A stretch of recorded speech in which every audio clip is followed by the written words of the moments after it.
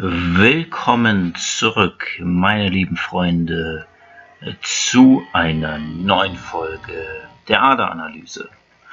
Ja, ich habe gestern völlig vergessen, ich habe ja gestern mit den Folgen gemeint, heute wären es nur vier, ähm, aber es sind ja fünf, weil diese Woche fangen wir die Sonderformate an, das habe ich echt verplant.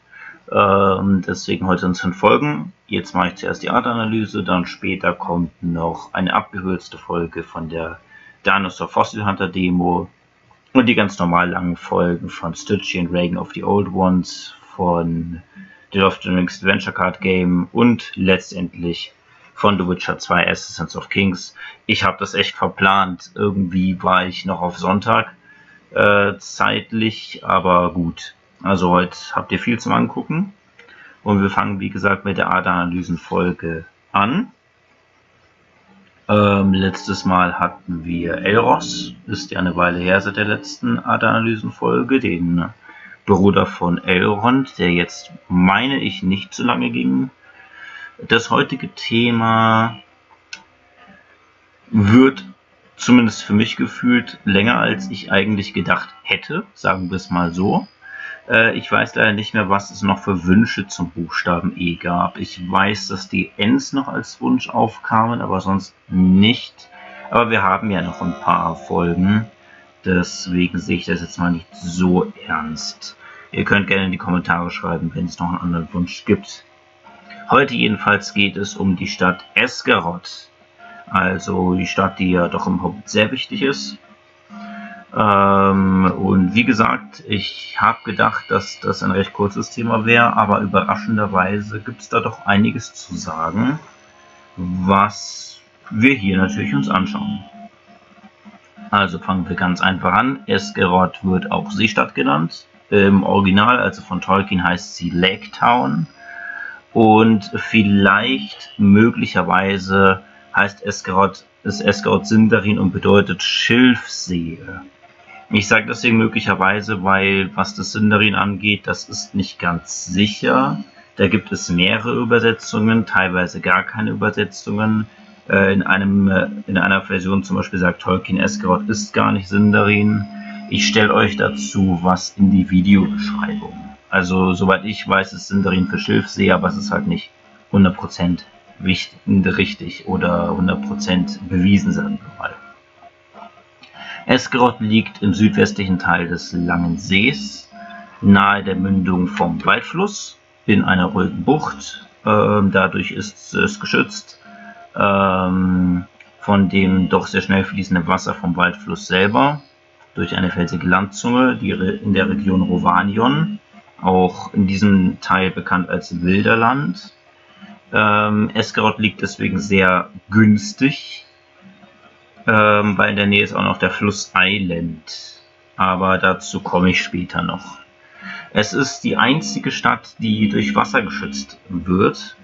Andere Städte werden entweder geschützt durch halt Mauern oder wie zum Beispiel Zwergenstädte durch Berge, aber Esgaroth ist die einzige Stadt bei Tolkien, die durch Wasser geschützt wird.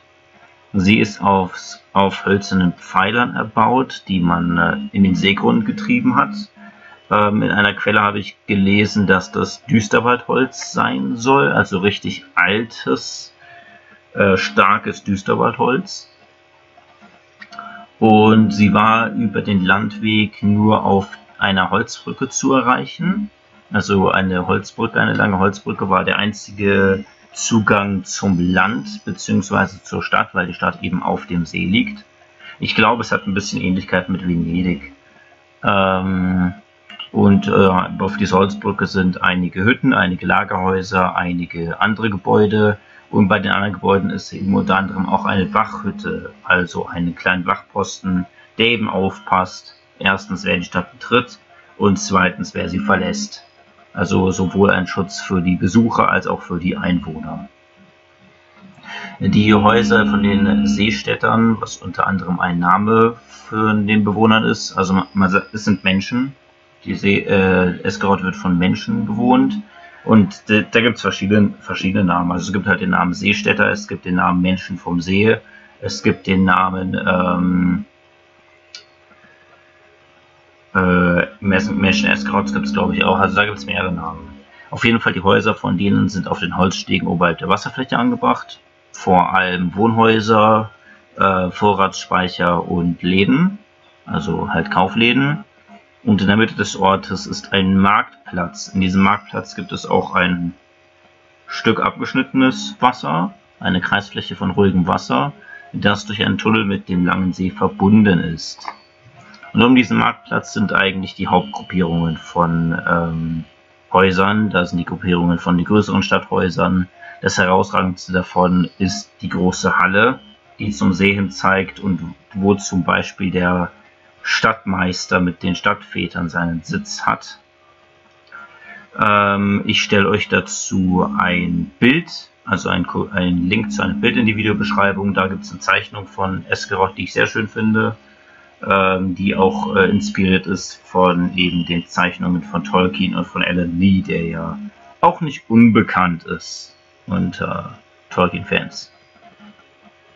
Ja, zu Zeiten von und Company ist die Seestadt, also es klingt wie ein Riesenort, aber es ist tatsächlich eher klein und dicht bebaut.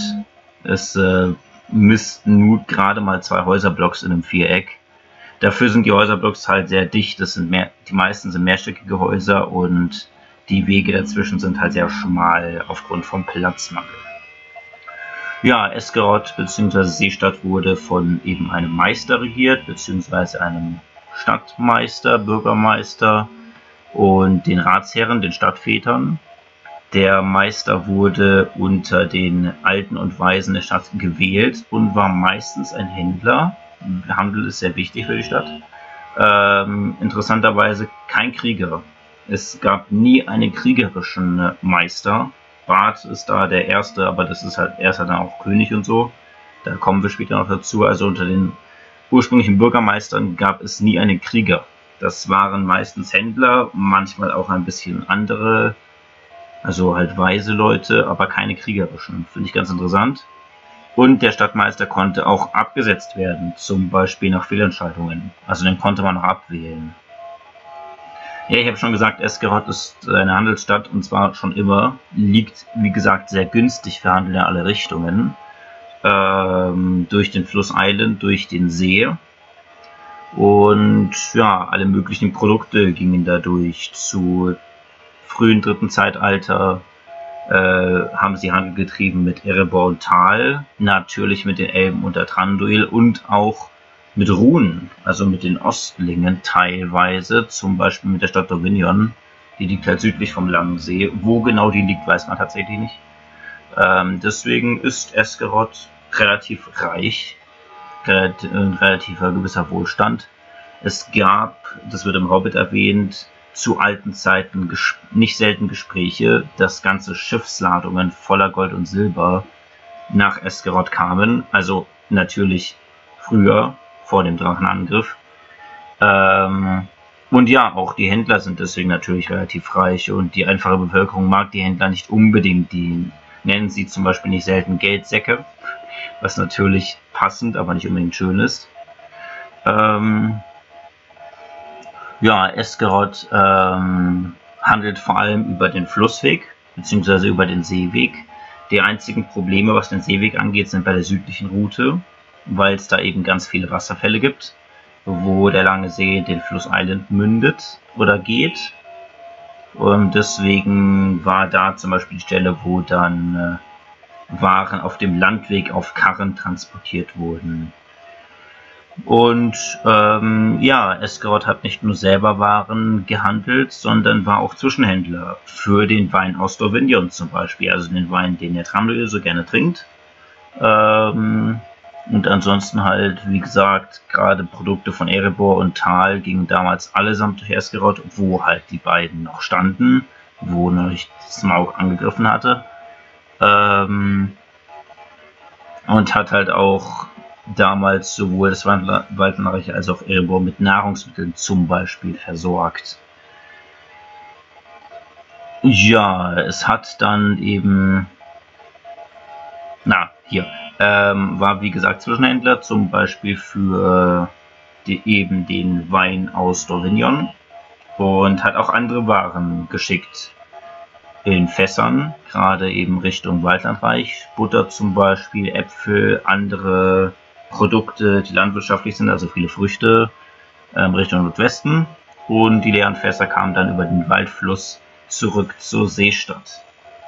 Natürlich hat Eskerot zwei Handelspartner verloren durch Smaugs Angriff 2770 durch das Zeitalter, galt aber trotzdem weiterhin als wohlhabend. Also wie gesagt, Eskerot ist keine arme Stadt, gerade für ihre Größe nicht, äh, weil es einfach so sehr gut für den Handel liegt. Und Handel ist halt eben auch die Hauptinteresse der Stadt. Ähm, also es galt trotzdem als wohlhabend, auch wo dann Tal und Erebor gefallen waren. Wann Escort gegründet wurde, ist unbekannt. Man weiß aber, dass es mal größer gewesen sein muss. Bei niedrigem Wasserstand äh, hat man alte vermoderte Pfähle gesehen in Ufernähe von einer größeren Stadt. Ob diese ursprüngliche Stadt allerdings zerstört wurde oder nur verfallen ist, weiß man ebenfalls nicht. Ich persönlich gehe von einer Zerstörung aus. Ähm, einige Quellen, die ich jetzt gesehen habe, gehen von der Zerstörung aus, aber es ist nicht 100% sicher. Esgaroth hat nach Smogs Angriff Überlebenden aus Tal Schutz und Obdach geboten, was sehr gut war, weil dadurch hat zum Beispiel die Fürstenlinie von dem alten Tal über 170 Jahre überlebt. Da komme ich später nochmal drauf. Thorin und Company kamen in die Stadt versteckt in Fässern, in eigentlich leeren Fässern, 2041 durch das Zeitalter. Und sie wurden vom Volk sehr gut aufgenommen, weil das Volk eben ein sehr traditionelles Volk ist, noch die alten Lieder geehrt hat, wo es ja auch hieß, dass der König unter den Berg wiederkehrt und dann wieder Gold und Silber äh, in die Stadt Einzug beziehungsweise es wird, glaube ich, sogar gesagt, dass vom Erebor halt so ein Goldfluss dann runterfließt. Und auch der damalige Meister hat die Zwerge gefeiert, Allerdings natürlich nicht ganz so wie das Volk. Der Meister war ein sehr kluger Mann. Er wollte sich mit den, also erst mochte er die Zwerge gar nicht, weil er ja gesehen hat, okay, die kommen aus Fässern vom Waldlandreich. Das Waldlandreich war halt ein wichtiger Handelspartner, wollte er nicht verlieren. Hat aber trotzdem so getan, als würde er die Zwerge mögen, weil er gedacht hat, ja gut, das sind nur Stümper, das sind nur Möchtegerne, welche die nur so tun, als ob und irgendwann werden die schon ihre Scharade beenden müssen und dann zeigen müssen, dass sie nur Betrüger sind. Als er mir gemerkt hat, dass dem nicht so war, dass die Zwerge wirklich Richtung Erebor zum Drachen wollen, ähm, hat er ihnen sie ausgestattet mit Ponys und Proviant. Dann dachte er halt, ja gut, dann sind wir sie los. Wir hatten jetzt die ganze Zeit unnötige Kosten und ähm, dadurch, dass das Volk die Zwerge so gefeiert hat, war halt auch nicht wirklich Produktion in der Zeit. Da lag alles still so ziemlich. Und ähm, ja, wie gesagt, der Meister war halt ein relativ verschlagener, gieriger Mann auch, was jetzt nicht ungewöhnlich ist für einen Händler, war natürlich ein Händler, aber was in diesem Fall, naja, er vielleicht sich damals überlegen sollen, sagen wir es mal so.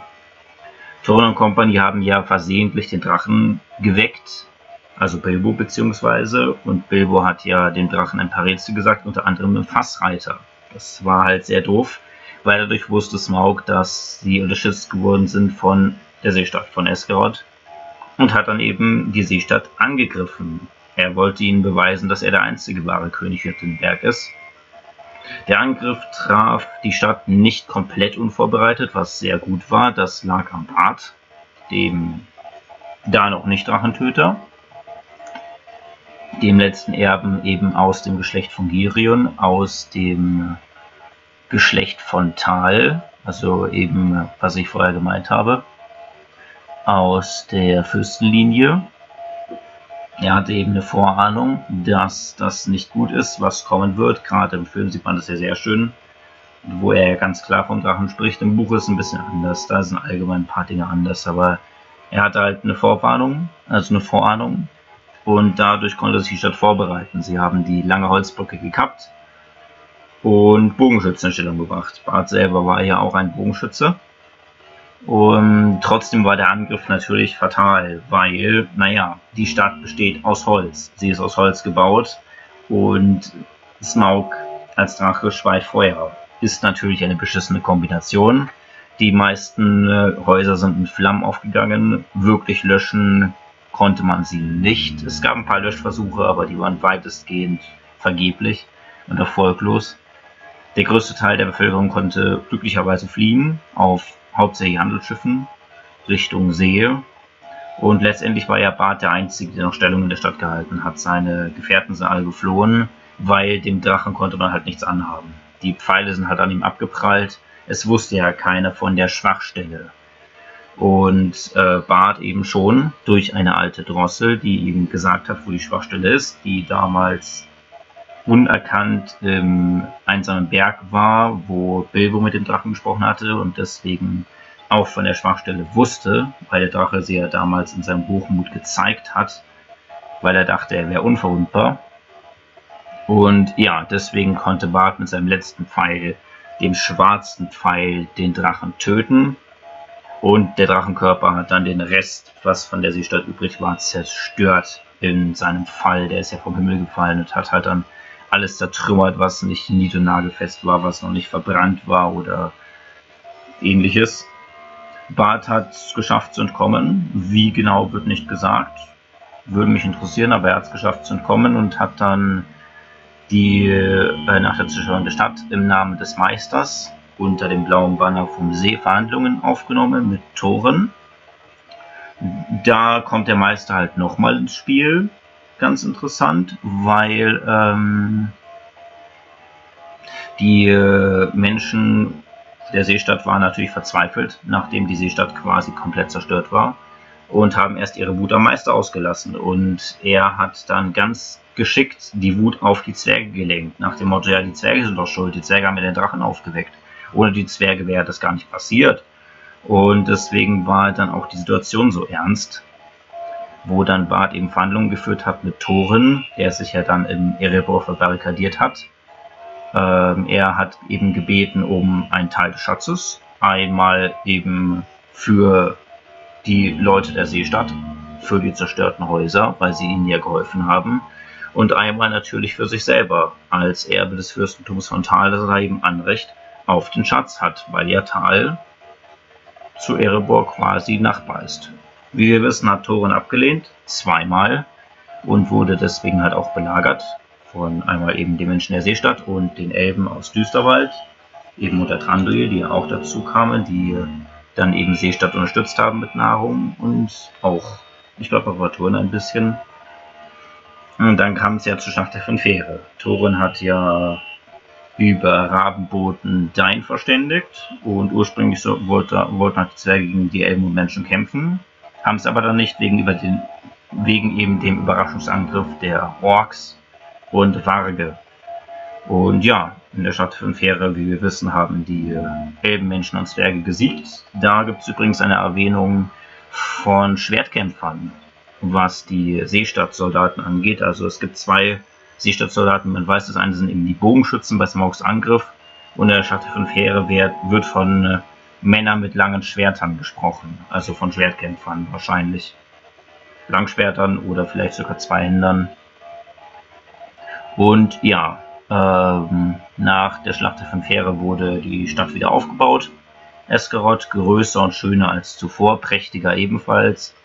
Etwas weiter nördlich, also nicht auf dem See, sondern da wirklich landwärts, weil, naja, keiner wollte auf dem ehemaligen Drachenkadaver siedeln. Und deswegen wurde die Stadt dann neu aufgebaut weil eben Dein im Gegensatz zu Thorin ja, da die Schätze ausgegeben hat, ein gerechter Herrscher war, fair aufgeteilt hat und deswegen die Stadt wieder aufgebaut werden konnte. Der Meister übrigens ist, meine ich, geflohen. Ich bin mir gerade nicht sicher.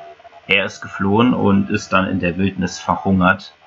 Ähm, deswegen war dann das Esgeroth nach dem Drachenangriff was ja auch zu Tal gehört hat, dann zum wiederaufgebauten Tal quasi regiert von Königen und nicht mehr vom Meister. Soweit ich weiß, ich kann mich da auch irren. Ähm, und da ist ganz interessant, dass, dass zum Beispiel, ich glaube, Balen, wo er sich mal mit Bilbo getroffen hat, erwähnt hat, dass eben der Meister auch an der Drachenkrankheit gelitten hat. Also eine selben Krankheit, an der auch Thorin litt, die man ja im Film sehr schön sieht. Und auch die im Buch doch herausgestellt wird. Ja, das war's zu Eskerot. Mehr ist es nicht. Ich finde es, wie gesagt, überraschend viel. Waren jetzt auch knapp 20 Minuten. Ähm, ich hätte nicht gedacht, dass es, weil, wie gesagt, es ist eigentlich eine kleine Stadt. Kein, nicht, mal, nicht mal eine wichtige Stadt. Ich meine, nach dem Hobbit kommt die Stadt meines Wissens gar nicht mehr groß vor. Tal schon, aber ich glaube Eskerot nicht. Ähm, und trotzdem, wie man merkt, hat sie einige Infos, einige Inhalte. Wie gesagt, ich stelle in die Videobeschreibung sowohl eben einen Link zu dem Bild als auch ein kopiertes Zitat bezüglich des Namens, bezüglich des Sindarins. Und ja, wenn ihr noch Fragen habt, gerne in die Kommentare. Beantworte ich natürlich gerne. Wünsche zu E auch gerne in die Kommentare. Wie gesagt, ich habe in Erinnerung, dass äh, sich die Ends noch gewünscht wurden, aber ansonsten weiß ich nicht. Ein paar haben wir noch. Wir machen ja immer insgesamt, zumindest für den Anfang, neun. Und ansonsten vielen, Spaß, vielen Dank fürs Zuschauen. Ich hoffe, es hat euch gefallen. Ich hoffe, ihr habt jetzt nichts vergessen. Ich habe das Gefühl, teilweise ein bisschen durcheinander geredet zu haben. Ähm, aber wenn ich irgendwas vergessen habe, dann könnt ihr es hier auch in den Kommentaren kundtun. Und es wäre schön, wenn ihr später bei den anderen Folgen auch wieder dabei wärt. Wie gesagt, äh, Dinosaur Fossil Hunter geht heute kürzer, aber die anderen drei Folgen gehen normale Länge. Bis dahin, Freunde. Gehabt euch wohl.